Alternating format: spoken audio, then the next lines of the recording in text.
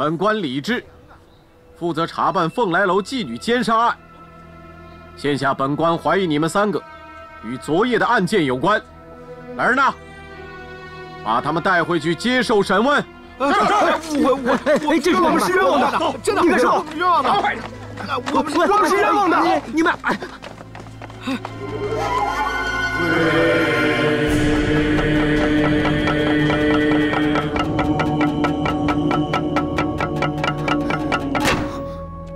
昨夜子时，凤来楼发生奸杀案，青楼女子小翠惨遭毒手。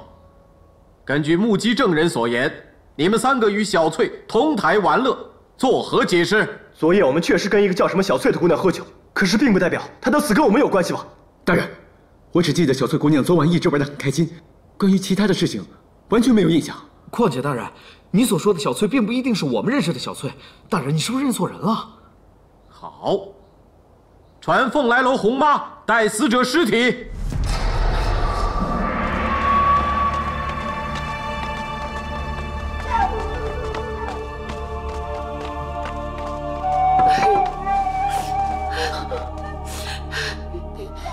这就是凤来楼的小翠，看你们作何解释？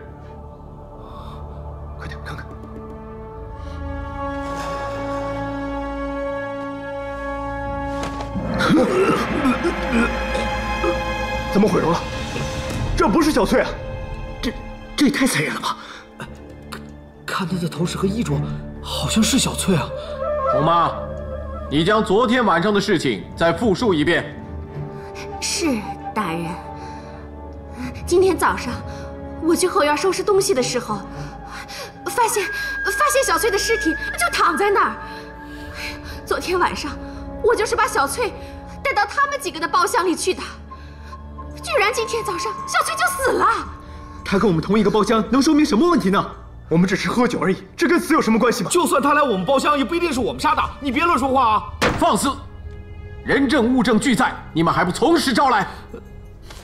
大人，昨晚我们三个都喝了很多酒，今早醒来才发现自己躺在大街上，后来才回想起来，昨夜醉酒，乱闯凤府闹事，根本没有留在凤来楼啊。大人，昨夜我喝醉之后，在聚贤庄门口睡了一夜，那里边所有的义子都可以替我作证。大人，我整夜都在赌房，和一个叫什么张员外的人在一起，而且我今早起来还是在赌房，我整夜给他赢了很多钱，不信你可以问他。大人，昨夜我们三个都不曾留在凤来楼，也就是说小翠的死与我们无关，请大人明察。是，大人若不信的话，请传证人查问。哦，大人，我想起来了，昨天还有位年纪大的跟他们三个人在一起的。小翠就是陪的那个年纪大的，你说的可是方林？嗯，那本案最大的疑凶就是方林。不可能！你们三个和方林一直在一起，他现在身在何处？这个，这个我们真不知道。啊从那一夜开始，我们就再也没见到方先生了。但是不可能是方先生啊！大人，你把我们抓回来之后，我们就没有机会再见到他了。大人。方先生只不过是一介书生，平时连只鸡都不敢杀，怎么可能杀人呢？对啊，而且方先生手无缚鸡之力，他不可能杀人。是大人，其中肯定有蹊跷的。大人，放肆！本官正在判案，岂容你们妄下判断？你们三个人虽然有证据证明你们不在现场，但是鉴于本案性质恶劣，你们在此期间不得离开京城，并且要定期来衙门报到。方林就是本案最大的疑凶。如果让本官知道你们窝藏罪犯，必定加判刑罚。退房！大人，大人冤枉，必有蹊跷。大人，哼，这怎么回事？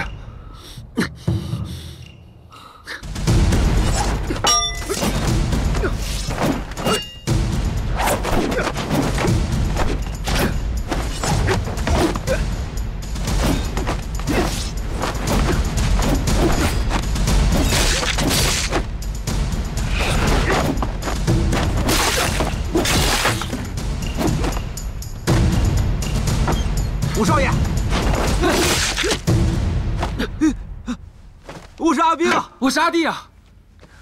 我知道是你们俩，厉害，武功高强啊。怎么样，有消息了没？李大人刚刚开堂审讯过方林的三位门生，可是啊，这三个人昨夜都有不在场的证据，被无罪释放了。只有三个人，那那个方林呢？他失踪了。李大人视他为此案的最大疑凶，已发皇榜通缉他了。好，这样我们就可以给黄渤交权，报仇雪恨。谁叫他们抢了我们通天书院的举人之位，跟我的兄弟过不去。但是你们俩不能掉以轻心，确定一切办妥当了吗？小翠身上的胭脂是我一手调制而成的，之所以叫做夺魄勾魂，意在所有的男人都会被迷得神魂颠倒的，醒来的时候什么都不记得了。而且红妈也甚是配合，当夜我们就把假扮小翠的尸体偷偷运进了凤来楼，成功制造了奸杀案的凶案现场，嫁祸给方林。那个尸体处理好了没有？李大人开堂审讯后。我们已经将尸体偷偷盗走，现在已经弃之荒野了。一切神不知鬼不觉，万无一失。做得好，但是此事绝对不能让我爹知道。好，明白，明白。少爷，那我们先走了。等一下啊，少爷，还有什么事儿？我请你们吃西瓜吧。少爷，您还是自己留着慢慢吃吧。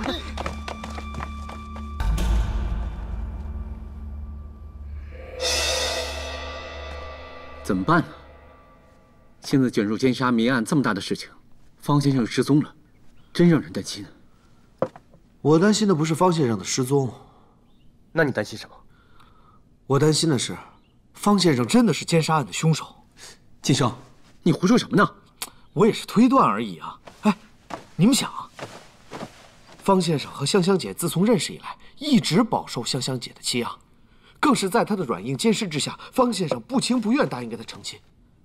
假如你有一个和香香姐一样的妻子，你会怎么样？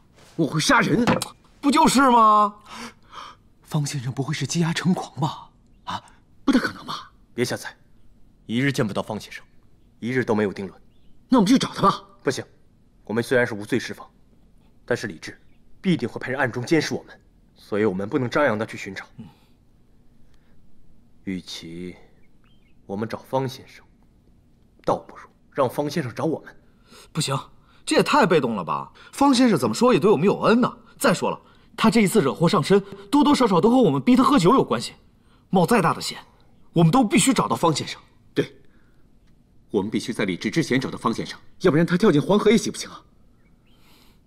那我们就试试找一下方先生，但是一定要小心谨慎。可是，京城这么大，我们上哪去找啊？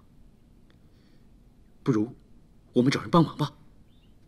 你的意思是，找徐大人？对。不可以，徐大人身为滁州知府，朝廷是有律法的，他不能擅离职守。哎，那香香姐呢？不管怎么说，她是方先生未过门的妻子，总该让她知道方先生的消息吧。香香姐更加不行了，她的脾气既冲动又鲁莽，再加上如果让她知道方先生是因为去了凤来楼而惹上罪名，到时候肯定会挥刀杀人，这不乱上加乱吗？哎呀，行了行了行了，时间也不多了，咱们还是靠自己吧。想想到底能在哪儿找到方先生。金生，你回忆一下，当晚还去过哪里？哎，我真是记不得了，我当时已经喝多了。你呢？我也记不起来了。我也记不起来了，都不知道在什么地方。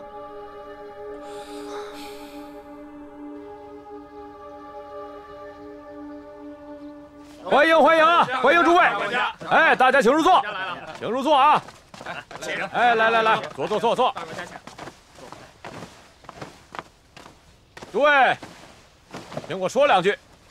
首先呢，欢迎大家来到我们聚贤庄做客。本庄在这个月又增加了五位考生的资格，将会成为五百万大官人的义子。他们将会和大家一样，在本庄免费的享用一切。所以今天。特别设宴来款待大家，而且五百万大官人也说了，只要持有我们聚贤庄的金牌，无论各位闲事行走到何处，哎，只要是五百万大官人经营的生意，便可以尽情的享用一切。好，好，好，好，来来来来，喝酒喝酒喝酒，都多喝点啊！来来来来来，喝酒喝酒。少爷，老爷可真够有面子的，每月都招贤纳士，收这么多读书人为义子。爹是一个有远见的人，他招揽那么多考生当义子，假以时日，一旦他们高中状元，朝廷里就有爹的人在其中。可是，那为什么老爷还要少爷去当武状元？我自小就喜欢舞刀弄枪，立志要当一个大将军，保家卫国。而且，文臣爹已经有那么多义子，我这个亲生儿子，当然要当一个武将，助爹一臂之力。哦，我明白了。如此内文外武，老爷的势力就更强大了。少爷，爹到了没有？到了，可是李治也来了。李治，李大人，姗姗来迟，让你久等了。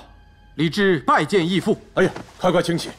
我跟你说过多少次了，你是官，我是民，以后见我不要行此大礼，哪有官向民行礼的道理？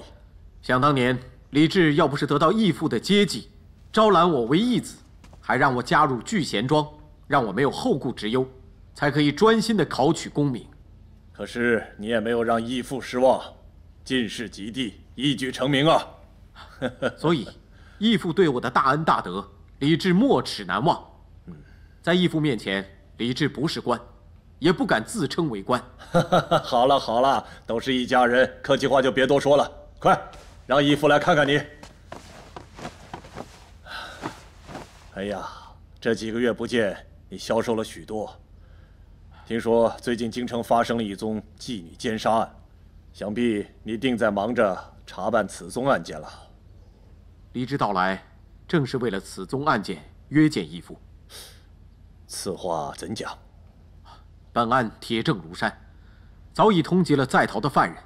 可是李治发现，这在逃的犯人正是早前在滁州破获贡院纵火案的方林。哦。就是那个揭破通天书院四名学生贿赂案的师爷，正是。而且李治发现，在搜捕期间，有人带走了受害人的尸体，而且我在义庄找到了这个。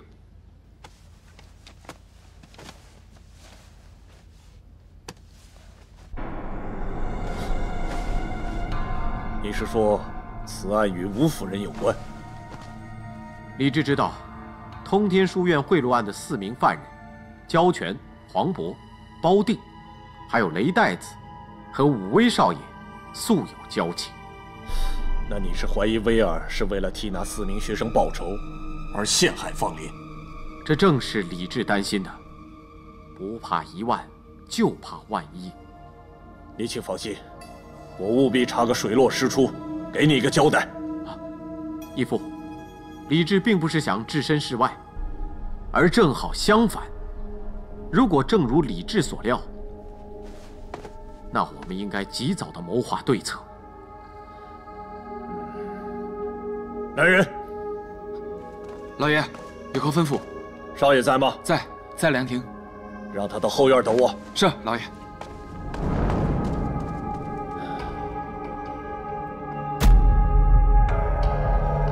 说最近京城发生了一宗妓女奸杀案，凶手正是此前侦破滁州贡院纵火案，以及通天书院贿赂案的那个师爷方林。京城人流复杂，此类案件常有发生，为何爹对此案如此关心？你还要瞒爹多久？爹，我没有啊。你给我看仔细了。下次叫你手下办事的时候，手脚干净一点，别留下任何线索。爹，你猜的没错，是我栽赃嫁祸给方林的。我跟黄渤他们四个是出生入死的八拜兄弟，我要替他们报仇。八拜兄弟，你们在哪里出生入死过？是在凤来楼啊，还是在秦淮河畔？为兄弟报仇，何错之有啊？魏儿，你大错特错。你知不知道，那吴松跟方林是多年的莫逆之交？如今方林被劫，那吴松岂能坐视不理？就算吴松又如何？以我们的财力和人力，素来吴松都是要祭爹三分的。唉，魏儿，那吴松一直对我聚贤庄虎视眈眈，爹素来低调行事，就是不想让吴松抓住任何把柄，趁机来对付我吴家。只要我们尽快抓到方林，把此案定案，到时候木已成舟。就算吴松要追究起来，也死无对证。魏儿，这一切不是像你想的那么简单。总之，你现在什么都不要做，好好留在家里，准备武科举的考试。至于方林一事，就交给爹来处理。爹，你打算怎样处理？明天我去会一会武松，看看他对此案采取什么态度。唉，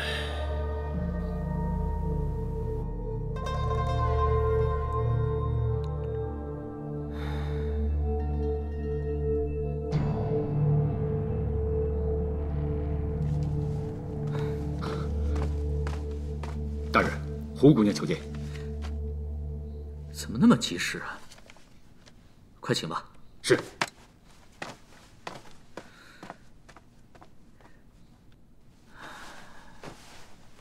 该怎么跟他讲呢？徐大人，香香姑娘，呃，你有什么事要找我？嗯，是这样的，方林呢答应我一到京城就会写书信给我，可是我迟迟没有收到他的信。这个没心肝的方林肯定是把这事儿给忘了，所以呢，我想请徐大人代笔替我写封信，好好骂一骂这个方林。哦，是这样的，我有些事情想跟你说。哎呀，咱们都这么熟了，有什么话就直说呗。但是我说之前，你必须要答应我，你一定要保持冷静。这个你放心吧，我很冷静的。好，方林他在京城成了通缉犯，现在下落不明啊。通缉犯？嗯，怎么会这样？他犯了什么罪啊？他犯的是奸杀。奸杀？啊！你不是答应过我会保持冷静的吗？我很冷静。你，你跟本官一样都相信方林不是这样的人，方林不会做这种事的。我就是太了解方林，他不是这样的人。他平时连一只蚂蚁都不敢踩，他怎么能成为杀人犯呢？徐大人，方林他会不会有事啊？你放心吧，他一定不会有事的。本官觉得他应该是被人陷害的，不必担心。徐大人，你查案那么厉害，你可不可以去京城帮一帮方林啊？哎呀，本官乃是滁州知府，必不能擅离职守。那方林岂不是死定了？那谁回来娶我呀？你先别担心，切莫心急。本官已经在京城找了好几位朋友去帮着调查此案件，他一定不会有事的。那一有方林的消息，你一定要马上告诉我。好，我一定马上告诉你。好，我不说了，不说了。哎。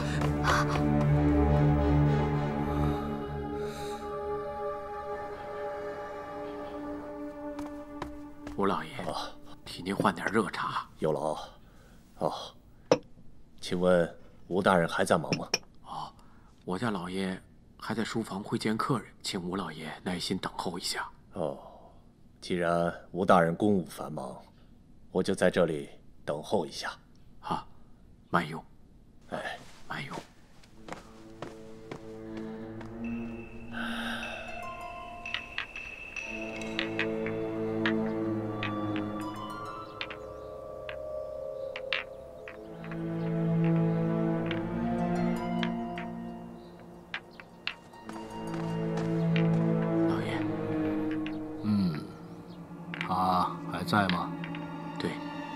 经替他换了三转茶了。嗯，等了这么久还没走，看来他是真想见我。五百万素来与老爷井水不犯河水，为何今番会突然到访？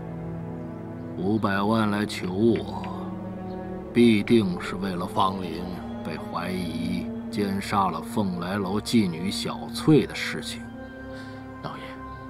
您相信方林是凶手吗？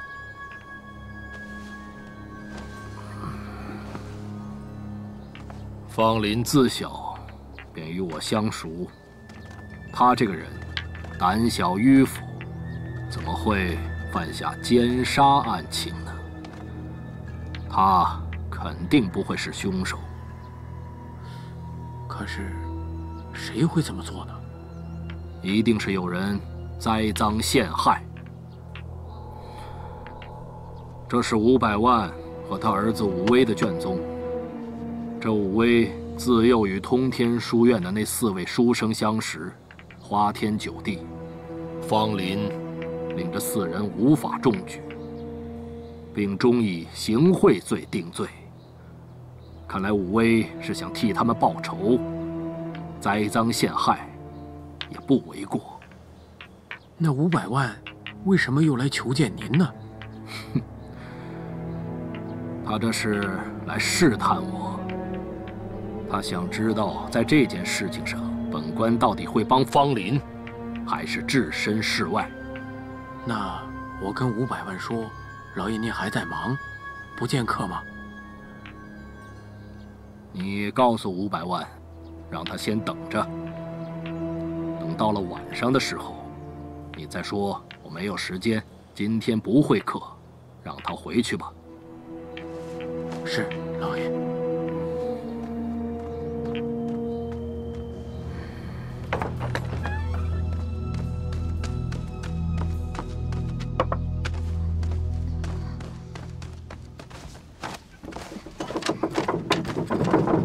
女儿，哎，爹，你今儿要出门啊？对，我要去京城找方林。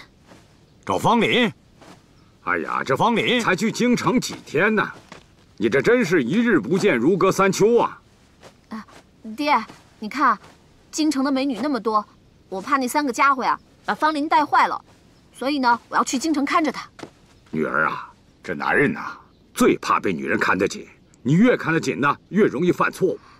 就是因为没我的看管，才犯了错。他，他犯错误了？哎，没有啊，爹，怎么会呢？他就是想别的美女也算是犯错。哎，爹，方林就是你未来的女婿了，此行就当我替你看着他啊。我走了啊。哎哎哎，喂，你怎么说走就走啊？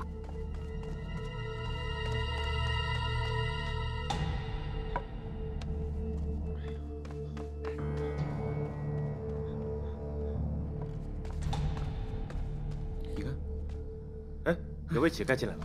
哎，你个臭乞丐，谁让你进来的？出去，出去，出去！小二，出去！小二，哎，行了，行了，行了，人家也不容易，给这点碎银子，打发走算了。这这这这这，哎，银子都不要啊？哎，是我是我，是我。呃，小二下去吧。哦哦。哎，你们看，嗯，方先生。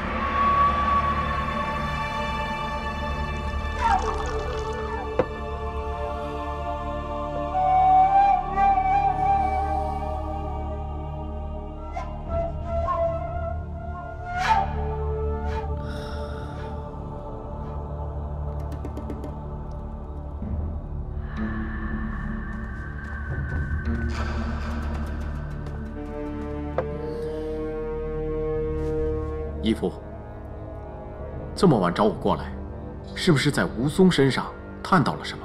吴松真是老奸巨猾，明明闲着有空，却避而不见，让老夫独自在偏厅从白天等到黑夜，最后也没有现身。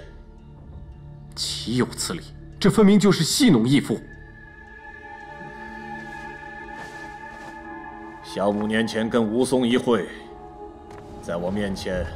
还只不过是一个只会拍马谄媚之辈，如今却变得目中无人，已经斗胆玩弄起老夫来了。义父息怒，如果我们为了这种小事而耿耿于怀的话，便正中了吴松下怀。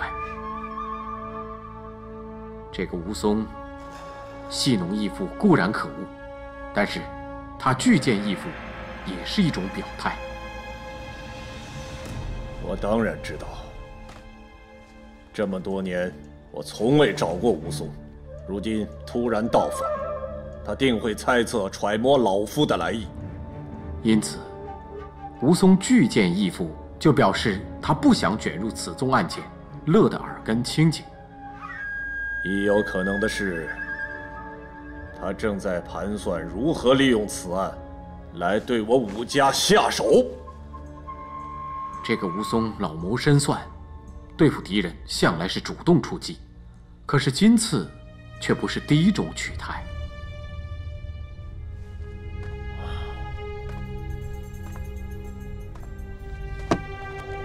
吴松一直记我三分，也总想找办法来对付我武家。如果让他得到对付武家的机会，这个得势不饶人的奸贼，必定想尽一切法子来加害于我。这个吴松谋害义父的法子，就是要帮方林脱罪，然后等凤来楼凶杀案的幕后真凶自动浮现。所以，绝不能让吴松证实此案与武威有关。既然方林现在也是奸杀案的最大疑凶，那就干脆让他变成真凶。李治明白，日后必定加派衙役巡查，抓住方林，了结此案。先生，你慢点吃，别噎着。先生，你知道吗？我们几个找你找的好辛苦啊！你们好意思说？我要不是赶紧去找你们，你们根本想不起来我。先生，你听我慢慢说。我们几个醒来以后啊，就变成了奸杀通缉犯，更被衙役抓去公堂受审。还好我们有不在场证据，所以才无罪释放的。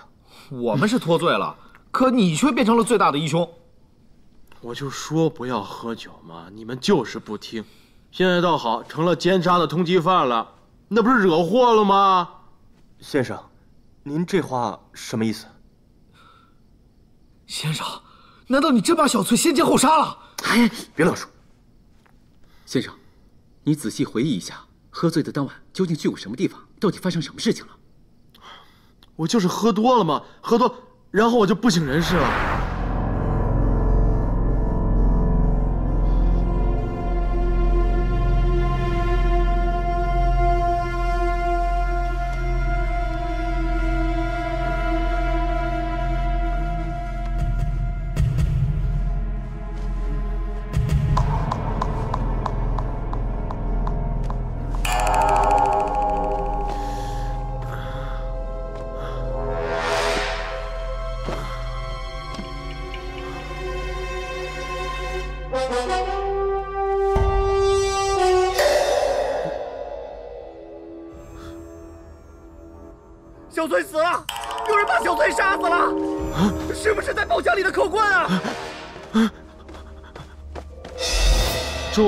我就跑了，我本来想着先找你们的，结果没想到你们也被列成通缉犯了，我就想先躲起来，静观其变。一直一直在这儿静观到现在啊！哎，对了，先生，那你那夜在凤来楼有没有见到什么可疑的人？反正我到现在是真的什么都想不起来了，但是有一点我可以肯定啊，我肯定是没有杀人。先生，我们相信你不是凶手，可是这也太离奇了，此事必定有蹊跷的。对啊，我们四个人几乎是在同一时间失去了同一段记忆，仿佛是有人刻意在安排我们在同一时间失去知觉。难道我们是是被人下了迷药？哎，我怎么记得仿佛是在我一开始喝酒的时候，我就闻着一股香气。然后就什么都不知道了，那肯定是有人故意陷害，想嫁祸给我们。可是我们到底跟谁有如此的血海深仇？况且我们来京城才几天而已啊！难道是吴松？他想陷害先生来报复书院纵火一案。不不不不不，以吴松的智慧、权力，再加上我对他的了解，相信没有便宜的事儿，他是肯定不会干的。再加上通天书院纵火案已经引起皇城对滁州的一举一动的关注，所以他找了梁元镇做替死鬼。现在回到京城，肯定是低调行事，不敢轻举妄动的。既然先生不是凶手，我们不如把事情如实告诉李大人，让衙门查办清楚，不就没事了吗？哎，不行不行，我们还不知道李大人的立场。如果这个李大人和幕后黑手是同一伙人，那让他知道方先生的行踪，不等于自投罗网吗？没错。哎，要不我们让先生逃离京城呢？哎，不是你非得让我一辈子背着一个奸杀犯的罪名啊？那我们还是请徐大人来京城帮帮方先生吧。哎呀，不可不可，万万不可！为什么？虽然我是被诬陷的，可是奸杀通缉犯这个罪名不能见光。你们呢，千万不要往外传。哎，行了行了，这也不行，那也不行，难道指望我们三个替你翻案吗？可我现在手里只有你们三个人呢，我的清白都在你们手里呢。唉。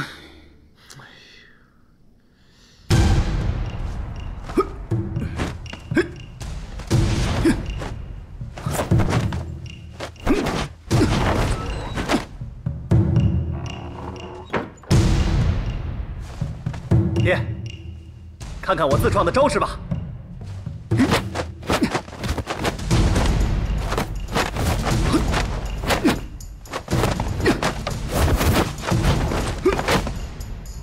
好啊，好！爹，刚才是我改良过的八卦掌，加上我的盘腿，钳制敌人的下三路，这样就能近距离的攻击偷袭敌人。威尔。你真是我的好儿子，爹。你为什么突然间感慨起来啊？哎呀，只要你日后不再生事的话，爹。你是想说凤来楼奸杀案的事吧？我不是跟你说过没事了吗？放肆！你这算什么态度？你在跟谁说话呢？从小到大，每一次我犯错误，都是由爹来替我解决。所以这一次我陷害方林的案件，虽然我做的不够完美，但是我知道爹会替我摆平。你不能一辈子都靠爹啊！为什么不能啊？就连皇上对我们武家也是恭敬有加，凭的就是爹的圣明。我们武家三代、四代、五代，就算千秋万代，都能够在京城横行无忌。好了，不要再狂妄胡言。奸杀案这个乱子，由爹来替你解决。但是这一次武科举，还是要靠你自己。我早就为了武科举而天天练习。你刚才不是已经看过我的新招数了吗？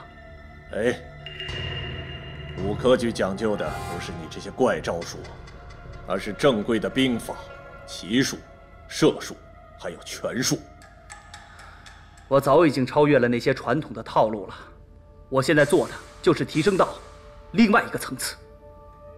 本届武科举的主考官是冯继阳将军，此人传统，不会欣赏你那些新想法的。我有的是实力，没有人能拒绝我的武艺才华。好吧，总之，武科举的考试就要举行了。爹会替你解决奸杀的烦恼，但是威尔啊。别再给爹多添乱子了。从今天开始，你就给我老实的待在家里，练习传统的功夫，安分守己的等待考武科举，哪儿都不许去。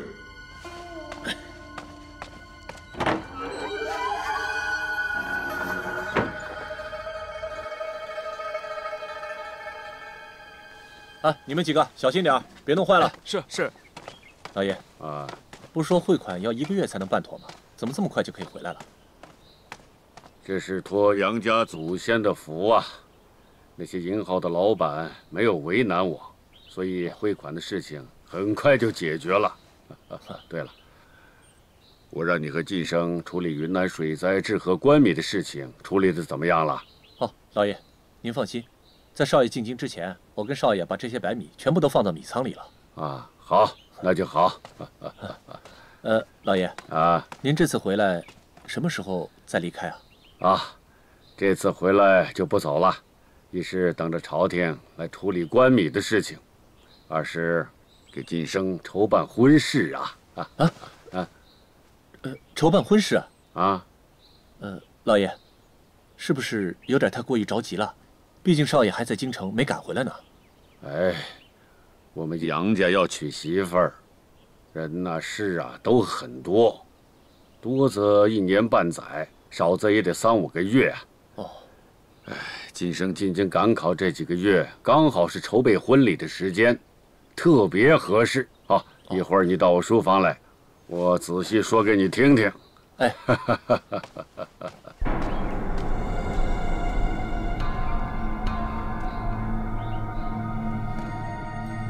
吴大人，杨老爷近日突然提早返回杨府，常云不止担心被他揭发储存在杨家米仓的只是残米，误了我跟大人的交易买卖。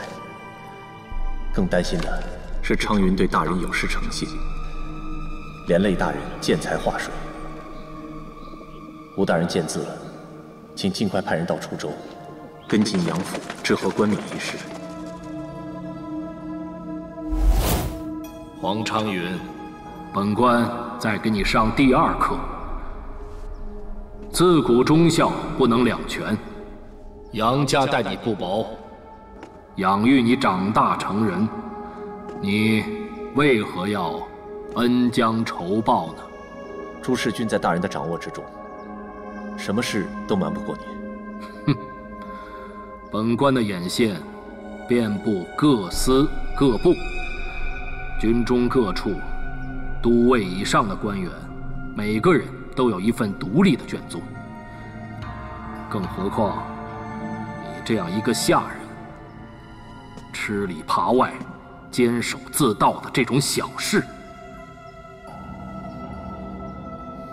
大人说的没错。这杨家就是我父母养育我长大，的确对我们有恩。可是我们全家人追随他们多年，一直做牛做马。也算是两不相欠了。最可恶的是，杨家的少爷杨晋生抢走了我心爱的女人，这才让我忍无可忍。所以，你就想以私吞治河官米之罪，让朝廷抄了杨家，毁了杨家的百年基业。大人说的没错。大人，我希望您这次能够帮我，让我囤积点银两，打下自己的江山。不过大人您放心，将来我一定会回报给大人的。哼，贪心是人无法克制的，但我欣赏。可是杨家待你不薄，却被你出卖，你凭什么？认为本官会帮你呢？因为我知道，大人需要这批白米。年轻人做事就是心浮气躁啊。新兰，你内伤痊愈了没有啊？多谢义父关心，新兰的内伤已经好了七八成了。嗯。你连夜赶路，辛苦了。不辛苦。何事让义父如此高兴？哦，这黄昌云，他已经准备好了。这可是抄家之罪。嗯，要小心谨慎处理才是。因为徐天佑，他人还在滁州。只要徐天佑一天还在滁州，就不是对付杨家的最好时机。可是徐天佑，他刚刚上任滁州知府，一时三刻他是不会离开滁州的。未必。方林眼下是一桩奸杀案的嫌疑犯，以方林和徐天佑的关系，徐天佑绝不会坐视不理的。可是徐天佑不是已经派了风继阳去解救方林吗？哼。方继阳再厉害，他顶多也只能救走方林。如若真想洗刷冤情的话，必须得靠徐天佑亲自出马。如果徐天佑他擅自离开滁州，那便是擅离职守之罪。据我对徐天佑的了解，他为了方林，宁愿冒这个险。义父，我要凤来楼奸杀案的来龙去脉。你要这个干什么？我熟读内容之后，去报告徐天佑。我在江湖之中打探到了一些消息，可以救到方林，他一定会相信我的。